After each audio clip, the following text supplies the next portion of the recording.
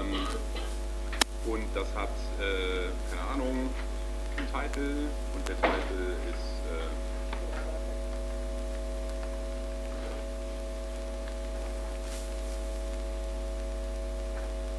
und dann haben wir noch ein bisschen Bodytext. Und der Bodytext ist äh,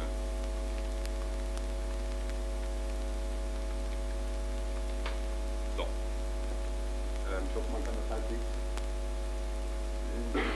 schmaler. So. Ist jetzt unser Dokument, das wir in so einen Suchindex reinschreiben.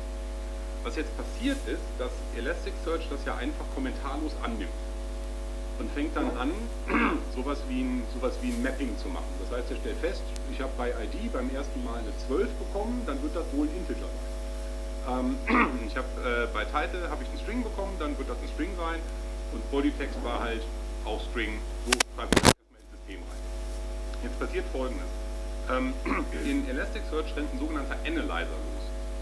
Und der Analyzer geht hin und demontiert hier zum Beispiel den Text, den wir ihm hier reinreichen. Das heißt, der baut auch Wortstämme. Das bedeutet, äh, ist jetzt stark vereinfacht, dass äh, bei Bodytext sowas rauskommt. Hm, Bodytext besteht aus dem Wort wir, besteht aus dem Wort fahren, alle ist ein Stopword, also interessiert uns nicht, trachten wir nicht, schicke und irgendwie, hoppla, ein Bindestrich davor oder so, ich bin schon wieder voll in Jammel-Syntax. So, das ist ja das, was Elasticsearch an der Stelle erstmal findet. Was dann passiert, ist, dass er hier hingeht und sagt, Autos, Plural, 100%, Auto, Singular, 80% Treffer. Das bedeutet, wenn ihr nach Auto sucht, dann geht der hin und liefert euch äh, auch den Treffer mit Autos, also mit dem Plural, aber eben auch mit dem Singular, nur mit, mit einer unterschiedlichen Gewichtung. Ähm, das kann man noch deutlich weiter treiben, diese ganze Synonymgeschichte, ich gebe euch mal ein schönes Beispiel, Kernkraftwerk, Atomkraftwerk, AKW, beschreibt alles das, das Gleiche. Und ähm, da geht halt der Indexer hin und klamüsert durch diese ganzen Daten durch und äh, macht dann halt mit Wortstämmen etc. Darum ist es im Übrigen auch so wichtig, ähm, Elasticsearch in einem, in einem Mapping mitzuteilen, in welcher Sprache das gerade unterwegs ist. Weil es durchaus sein kann, dass wenn ihr deutschen Copytext auf einen englischen Analyzer loslasst, da komische Dinge passieren. Ähm, um dieses Problem zu lösen, nämlich dass äh, Elasticsearch hier oben mit dem Dokument qualifiziert rät, weil was anderes macht das nicht, ähm, kann man ein Mapping Elasticsearch mitgeben, wo man halt klipp und klar sagt, pass auf, das Property Title ist ein String, aber bitte analysier den nicht, sondern nimm den genau so mit, wie er ist. Und ähm, ein Beispiel wäre mal aus unserem Ticketsystem, da gibt es ein, äh, ein Status-Property und da steht dann zum Beispiel sowas drin wie Open. Das ist jetzt relativ einfach, weil der Analyzer wird da Open stehen lassen. Das heißt, wenn ihr jetzt zum Beispiel in Elasticsearch auch danach aggregiert, ich weiß nicht, äh, hat jemand den Begriff Facetten mal gehört? Ist, Facette ist totaler Schwachsinn. Der Begriff ist von vorne bis hinten so falsch. Das ist eine Aggregation. Ne? Wir gruppieren Datensätze nach etwas. Das Aggregation. Ähm, das heißt, wenn ihr nach sowas aggregiert, bekommt ihr exakt diesen Wert zurück. Das ist verhältnismäßig simpel. Jetzt machen wir mal ein tricky Beispiel.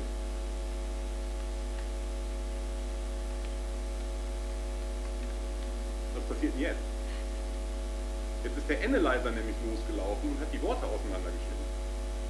Das bedeutet, ihr kriegt auf den Document Match in der Aggregation 50 mal Need und 50 mal Feedback weil das für den unterschiedliche Aggregationen sind. Ähm, was auch total Sinn macht, nachdem man einen Tag lang Daten importiert hat. Ähm, und darum sind eben diese Mappings in Elasticsearch so wichtig dass man dem, dass man dem, dem, dem Indexer und dem Analyzer mitteilt, wie er Daten auseinander zu klamüsern hat.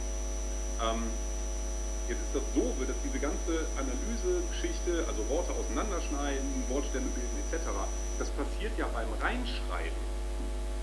Das heißt, die Daten liegen dann einmal schon denormalisiert vor, die kriegt ihr nie wieder zusammen. Das heißt, ihr müsst die Daten neu einlesen Und ähm, ich habe einen hab Importer gebaut, der gerade gesamt Forge importiert. Das sind so 84.000 Tickets. Forge ist eine Ruby-Anwendung, ist ein Redmine, das äh, glänzt ja eh immer durch Performance. Ähm, das heißt, ein Import dauert bei mir im Moment um die 16 Stunden. Das ist halt voll scheiße, wenn man, wenn man nachher feststellt, dass man sich bei einem Mapping vertan hat. Weil das bedeutet nämlich, alle Leute im Core-Team-Channel so, so, und wie sieht's aus mit Forza? Ja, lustige Geschichte. ähm, müssen wir nochmal machen, kriegst du morgen. Und nach dem vierten kriegst du morgen, wird das Verhältnis auch ein bisschen angespannter. Also der sagen, das Core-Team ist ja in der Tat noch nett, ähm, aber gerade bei Kunden draußen ist das manchmal ein bisschen problematisch. Ähm, ganz gemein ist im Übrigen auch, wenn man hier so Geschichten hat, äh, ich könnte mir jetzt vorstellen, ein Live-Beispiel, äh, dass man Newsartikel nach Autor äh, durchaggregiert und dann fängt Elasticsearch an, Wortstämme auf den Nachnamen des Autors zu bilden. Da stehen so Leute gar nicht drauf, wenn man den Nachnamen von denen verwurschtelt. Und fragt mich nicht, warum ich das weiß. Ähm, anyways. Ähm, was man also machen muss, ist Elasticsearch ein Mapping mitgeben. Ich äh, das ist äh, tatsächlich nichts anderes als ein, hoppla, als ein äh, stumpfes Array. Das haben wir, ich hoffe, dass man das jetzt hier sehen kann. Äh, Moment, äh, config, Elasticon, ich greife ein bisschen vor. Ähm, genau, ich nehme hier auch mal Issues, äh, versuche das mal ein bisschen größer zu machen. Ähm, so sieht so ein Mapping, das ist natürlich jetzt ein bisschen low res, ne?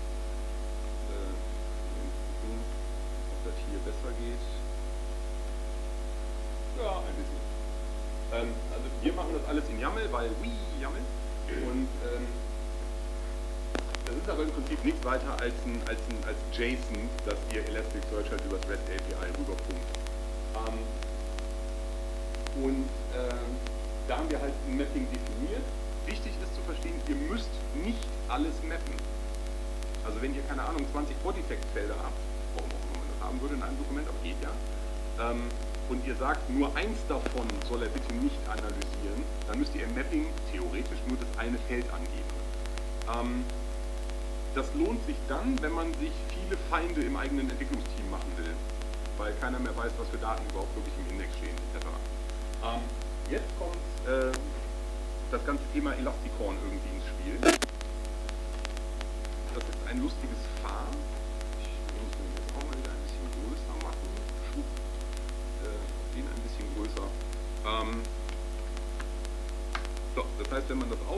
Das hat äh, Susi sich gewünscht, dass da ein API ist. Ach, fuck you, low rest, ah, scheiße. Ähm, so, wie kriegt man das jetzt?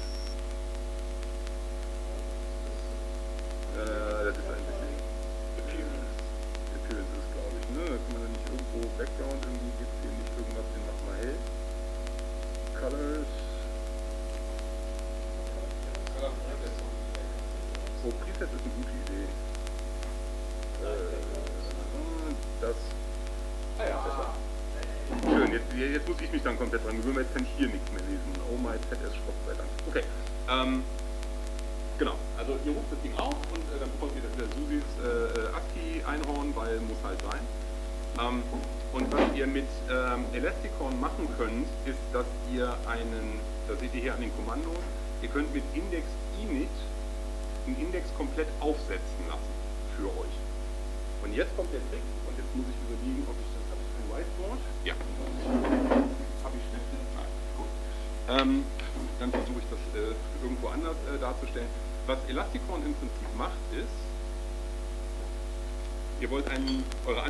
Forger, also unsere heißt jetzt gerade so. Ähm, was Elasticon macht, ist hingehen und einen Index anlegen, der Forger A heißt, und einen zweiten anlegen, der äh,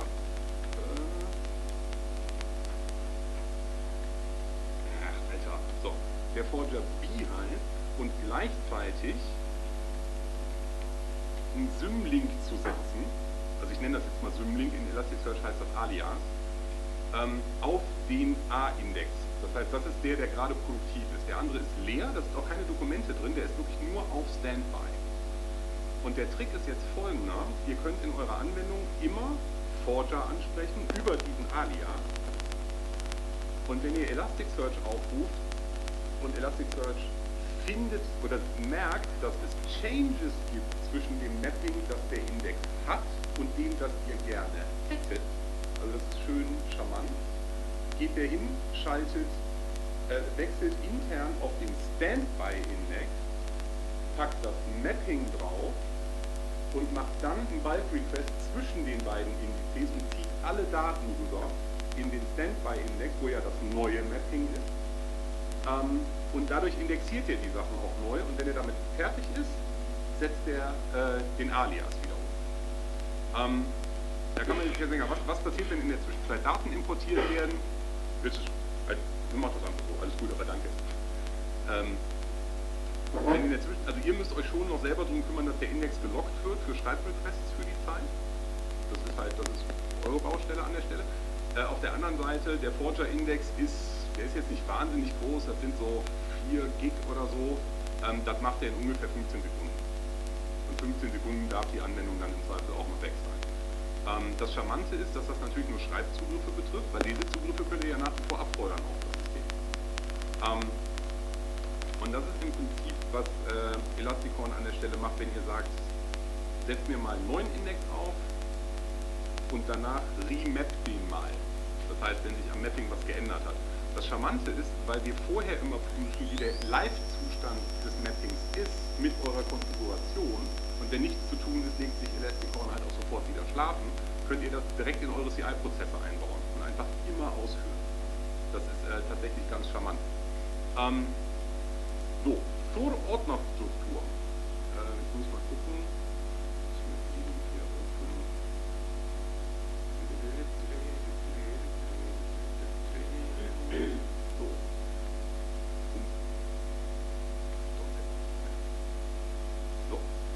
Ähm, wir sind hier in einer Laravel-Anwendung, weil Forger halt Laravel ist. Und da gibt es einen Ordner, der Elasticorn heißt. Hier drin gibt es mehrere Unterordner. Das ist der Name von eurem Index, wie ihr den später haben wollt. Also auch so, wie eure Applikation den anspricht. Wie ihr hier seht, baut, äh, baut das System hier schon direkt zwei Indexe für uns auf. Nämlich einen für das Server-Team und einen für das Core-Team. Wenn wir da reingucken, gibt es eine ähm, gibt eine Index Configuration YAML. Ich hoffe, dass man das hier so halbwegs sehen kann. Ein bisschen kleiner geht auch. Ähm, wo wir einfach nur sagen, wie viele Charts wollen wir haben, wie viele Replikas wollen wir haben. Ähm, und dann gibt es hier die Document Types. Ähm, jetzt hoffe ich, dass das, ja, das ist ein bisschen heller, ne? Das ist genau, das ist im Prinzip das YAML, wie wir es eben auch schon hatten, ähm, wo wir halt sagen, okay, das Projekt hat, äh, hat ein Unterproperty Name vom Typ Keyword.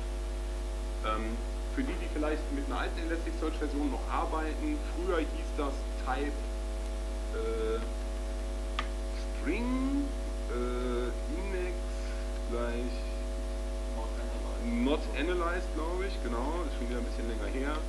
Und Store True. Und dass sich herausgestellt hat, dass jeder, der einfach will, dass der Analyzer nicht losrennt, immer diese drei Zeilen geschrieben hat, haben die das jetzt in Version 5 aufwärts einfach nur noch Keyword genannt, was ich persönlich offen gestanden auch ein bisschen ihr hier auch sehen könnt, wir haben jetzt hier im Prinzip schon Nested Properties, die halt durchgehen. Ähm, was ich hier habe, ist Tracker ist streng genommen, müsste es eigentlich, äh, ne, selber schlechtes Beispiel, äh, genau, ne, also der Tracker selber ist vom Typ Integer und der hat nochmal ein Subproperty. Das ist ein bisschen spooky, dass sowas in Elasticsearch geht. Ähm, aber wir haben ihn hier nicht dokumentiert, äh, weil Bucket ist ein Integer.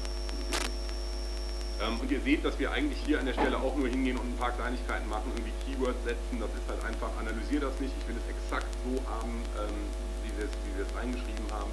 Äh, wir setzen ein paar Datumsformate fixed, damit wir die einfach am Start haben.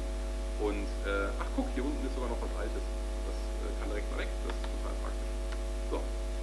Ähm, und jetzt können wir sagen, liebes Elastikon, ja. Das ist dann über meiner Schulter. Reicht das? Sieht jetzt jeder halt so. In der Explodie-Map, wir einen Configuration-File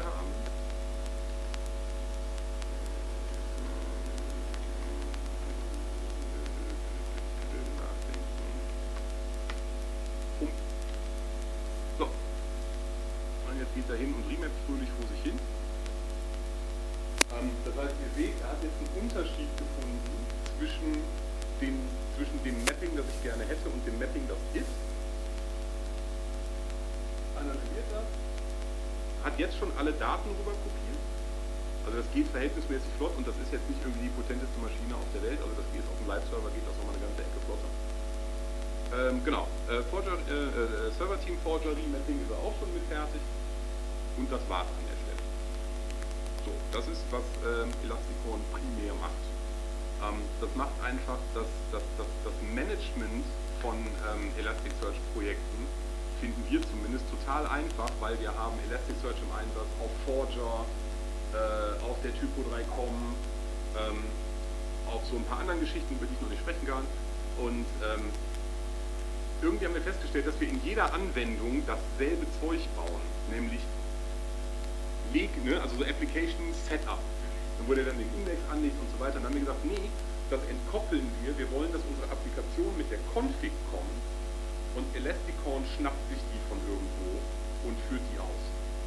Das heißt, ihr müsst nicht in jede eurer Anwendungen reinbauen, dass da ein Index angelegt wird, dass da ein Mapping applied wird. Also wir sind ja auch Devs, wir sind ja auch nur faul.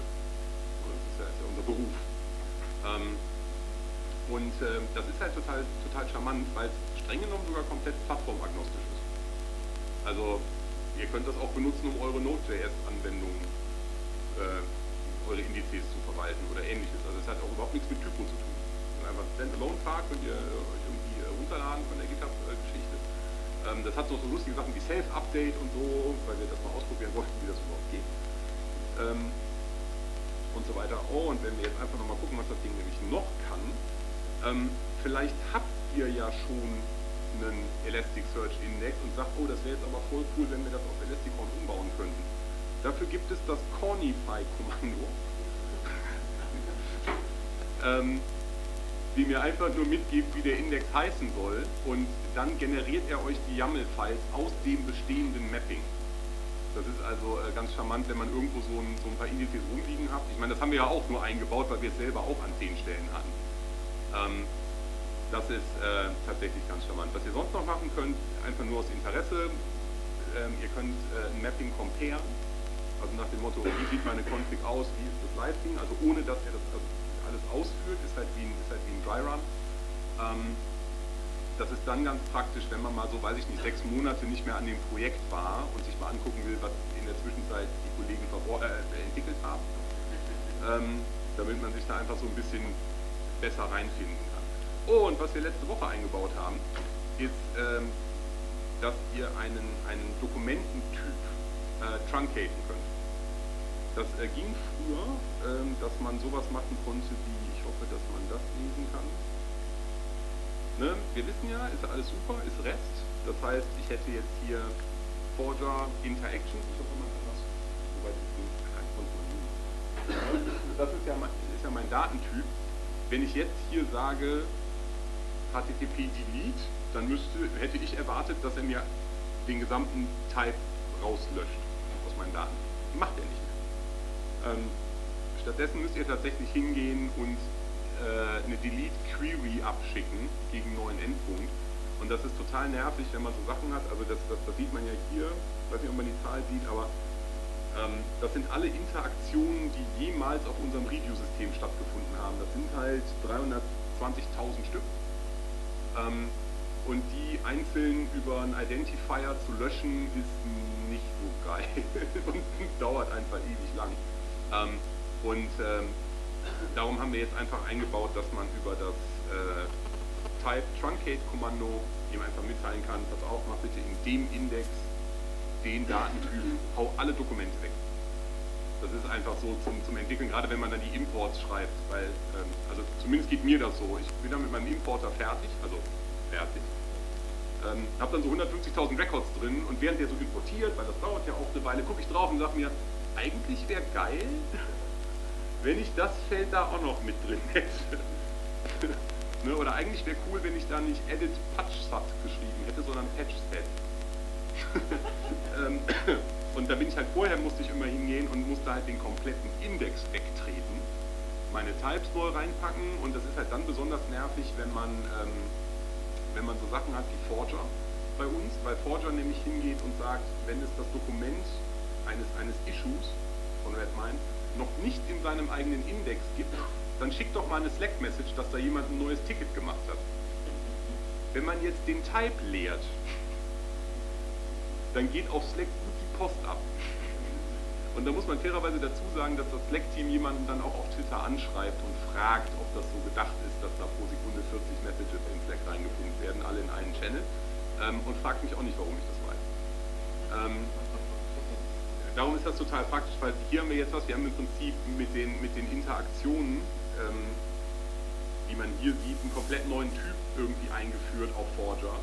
Ähm, und wenn ich da drin mal einzelne Sachen löschen möchte, dann ist das total doof, den ganzen Index wegzutreten und nochmal zwölf Stunden irgendwie Daten zu importieren. So, das Schlimme ist, das war's, mehr macht das nicht. Ähm, wir haben, wenn euch interessiert, wie ihr an den Kram drankommt, äh, es gibt elastigorn.net. Auch da kann man erkennen, dass äh, ja, ist wichtig. Genau, es gibt auch Elasticon-T-Shirts, das ist auch wichtig. Ähm, Susi wollte Pferde. Ähm, ja, aber find mal echte Fotos von Einhörnern. Darum haben wir uns auf ein Pferd geeinigt, das ich so in den Anschnitt gesetzt habe, dass ihr euch, dass ihr müsst euch das Einhorn jetzt, also könnt ihr sowieso nicht sehen, gut, super. Ähm, wenn ihr euch das selber anguckt, dann werdet ihr feststellen, dass da äh, ein Pferd im Hintergrund ist. Ähm, das Ding ist, äh, ist irgendwie erfrischend gut dokumentiert. Hätten wir selber nicht gedacht. Ähm, genau, ihr könnt es euch halt auch hier, das sieht man auch, wenn ihr es wenn äh, über Composer installieren wollt, das geht halt auch global. Ähm, ihr könnt auch, wenn ihr unbedingt wollt, in jedes Projekt einzeln ähm, reinziehen. Versionsnummerphilosophie ist, äh, unsere Major Version Number geht einher mit Elasticsearch Major Version Number. Das heißt, wenn ihr, wenn ihr äh, ein Elasticsearch 2 noch irgendwo im Einsatz habt, dann holt euch halt Version 2x von Elasticon. Wenn ihr eine 5 im Einsatz habt, nehmt halt die 5. Ähm, das werden wir da auch weiter durchziehen, weil das tatsächlich äh, relativ überschaubar ist. Ähm, ganz wichtig, äh, dafür müsste ich aber glaube ich mal auf äh, GitHub. Ich meine, wir hätten irgendwo einen Link zu GitHub.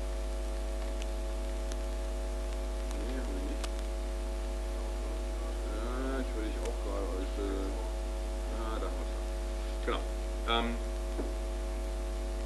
das ist auch so ein kleines Ding, was ich Leuten nochmal mitgeben kann. Wir haben im Docs-Folder liegt halt das fertige Far und der Public Key dazu.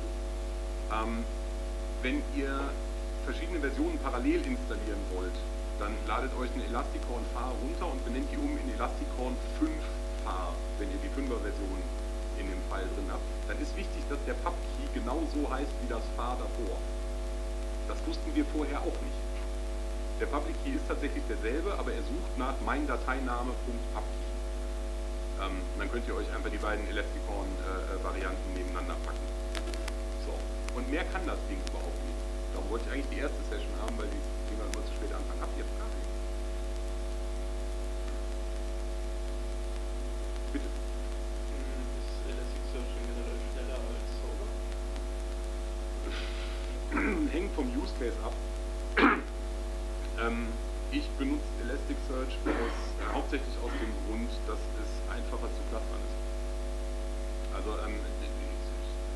Elasticsearch ist halt, also die Idee ist einfach, ähm, wenn du Solar clusterst, musst du Solar halt Bescheid sagen, so hallo, das ist dein Cluster, du bist ein neuer Server in dem Cluster, ne, muss halt alles konfigurieren. Das ist, das, das, das ist so wie MySQL Clustering in schlimm. Und ähm, Elasticsearch geht halt hin und sagt, Nö, weil für solche Clustering-Mechanismen gibt es Technologie, die ist proven und die heißt TCP. Das heißt, du feuerst einfach 40 Elasticsearch Nodes im gleichen Subnet hoch, dann clustern die sich von allein. Und das ist halt, das ist halt das, warum, also nicht, dass ich jetzt 40 Nodes, Nodes bräuchte gerade, ähm, aber wir haben durchaus schon den Fall gehabt, dass wir, dass wir äh, Anwendungen gebaut haben, wo wir den kompletten Content über ein Elasticsearch ausgeliefert haben und ähm, da war es halt schon praktisch, dass wenn du, wenn du so TV-Schalten gemacht hast, ähm, so bestes ist immer so, so Hauptwerbeblock Sportschau. Da kriegst du richtig Last aufs System. Und wenn dann, wenn der Werbeblock dann auch noch aussagt, geh jetzt auf unsere Webseite, um kostenlos Shit zu gewinnen, ähm, hast du halt richtig Last auf den, auf den Dingern. Da fand ich es ganz praktisch, dass ich einfach im Hintergrund sagen konnte, okay, für wann ist der, der Werbespot gescheduled, irgendwie, keine Ahnung, 22.08 Uhr. Dann wussten wir, okay, wir fahren eine Viertelstunde vorher einfach nochmal 20, 30 Boxen hoch, einfach um die Last abzufedern und haben die halt eine halbe Stunde später wieder runtergefahren. Ähm, und das halt ohne, dass ich jetzt groß Deployment, mich mit Deployment-Stuff irgendwie befassen muss und Servernummerierungen. Und das ist gerade, wenn du, wenn du, wenn du, ähm, jetzt wird es richtig kompliziert, wenn du Elastic Scaling benutzt, was nichts mit Elasticsearch zu tun hat. ähm, aber wenn du einfach sagst, dass, dass, dass dein Cloud-Provider deine, deine, deine, deine, deine Computing-Power scalen soll, so wie der, wie der Demand da ist.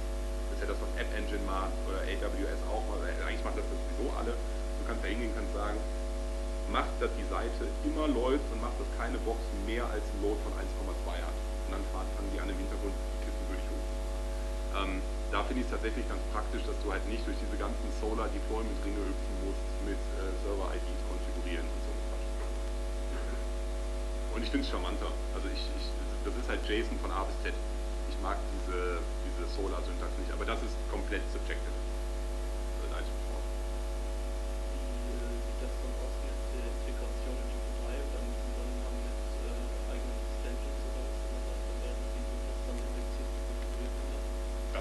selber. Also lässt halt einen Indexer laufen. Also ich, ich, ich kann dir mal ein Live-Beispiel zeigen. Ähm, also interessiert das noch mehr. Ich habe halt überhaupt keine Erfahrung mit äh, das Schlimme ist, wenn du, dich, wenn du dich einmal zu Hause damit anfängst auseinanderzusetzen, willst du, das ist dieses, wenn, wenn du nur einen Hammer hast, sieht jedes Problem aus wie ein Nagel. Weil du auf einmal alles in Elasticsearch indexieren willst, weil hey, was kann man hier für krassen Shit bauen? Ich habe ich hab Elasticsearch indiziert auf meinem Rechner rumliegen, ich weiß überhaupt nicht, wo ich das völlig bescheuert. Ich habe irgendwann aus Langeweile angefangen, die komplette Item-Database von World of Warcraft zu importieren, weil einfach weil es geht. Ja. Ich habe keine Ahnung, was ich damit machen soll. Ich kann dir jetzt noch, ich, ich kann dir alle Items aus WoW raushauen, gruppiert nach Item-Level, äh, Stärke-Requirement und Waffenart. Wofür? Frag mich nicht, keine Ahnung, aber ich hab's.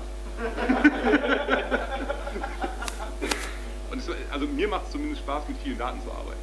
Und es gibt eine offizielle PHP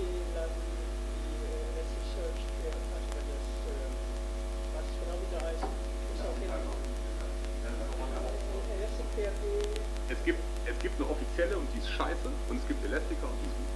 Die ist nur nicht offiziell.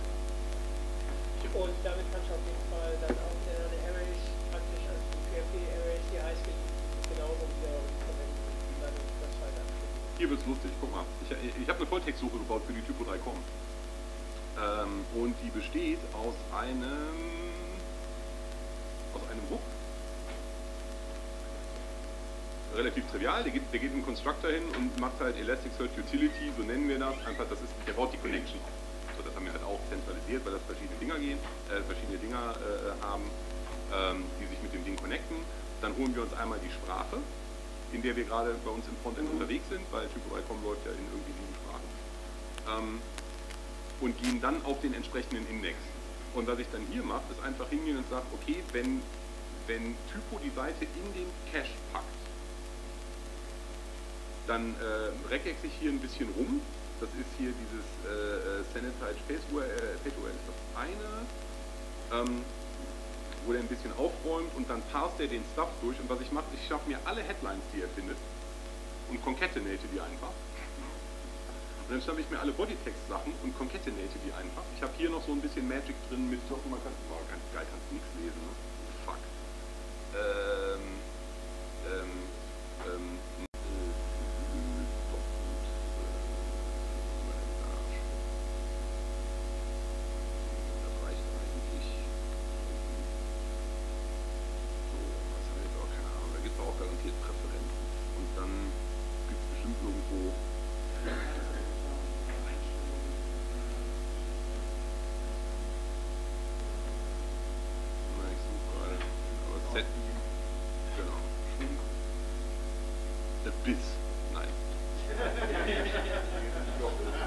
was worth a shot.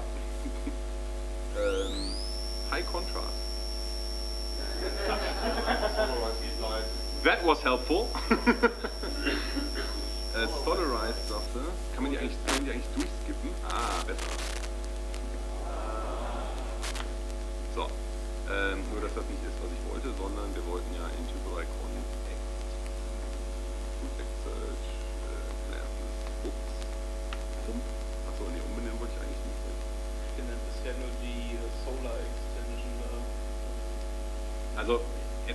kommen immer wieder Leute, die und sagen, kannst du sowas wie Solar nicht mal bauen auf Elasticsearch-Basis? Ich so, klar. Aber wer bezahlt das? Ähm, genau. Hier, worauf ich raus wollte. Jetzt, jetzt kann man es auch sehen. Also ich mache im Prinzip an der Stelle, wo Typo die Seite in den Cache packt, nichts anderes als das Ding zu parsen. Das ist nämlich hier, äh, wo sind wir?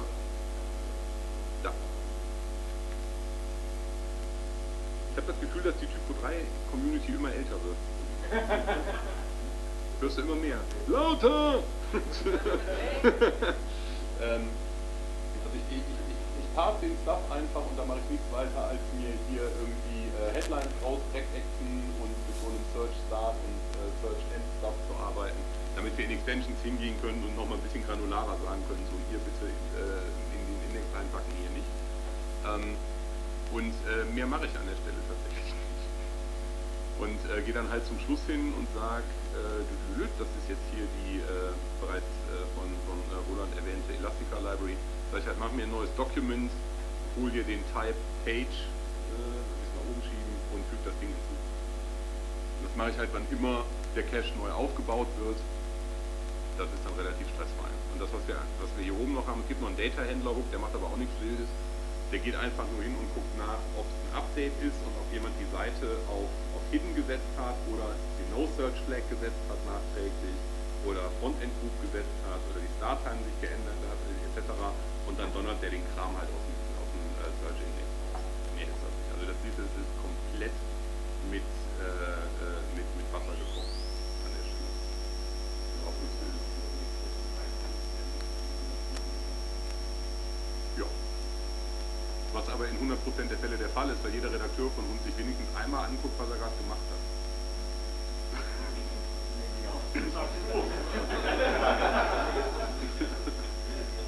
Ich sage ja, bei uns funktioniert das und das ist by all means nicht die Mutter aller Search Extensions.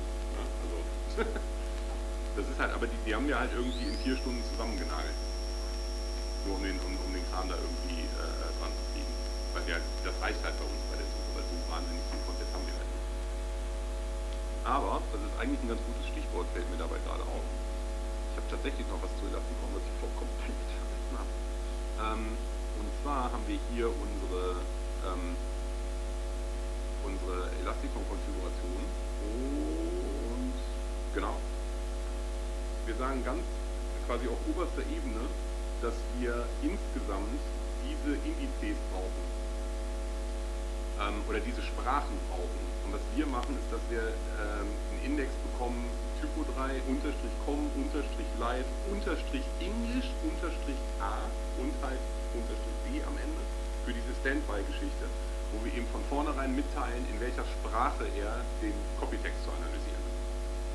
Das ist auch noch ganz praktisch. Das heißt, wenn ihr, das habe ich das ist völlig durchgegangen, ähm, wenn ihr, wenn ihr mehrsprachig mit euren Projekten arbeitet, müsst ihr einfach nur hier an einer Stelle ähm, die, die Sprachen anlegen und das wird dann halt runter vererbt auf alle, alle Tochter-Indizes, die sich dann daraus erstellen. Das ist einfach eine Convenience-Geschichte. Das, was, wo ihr sonst zu Fuß tippt, ähm, habt ihr jetzt ein Einhorn, das das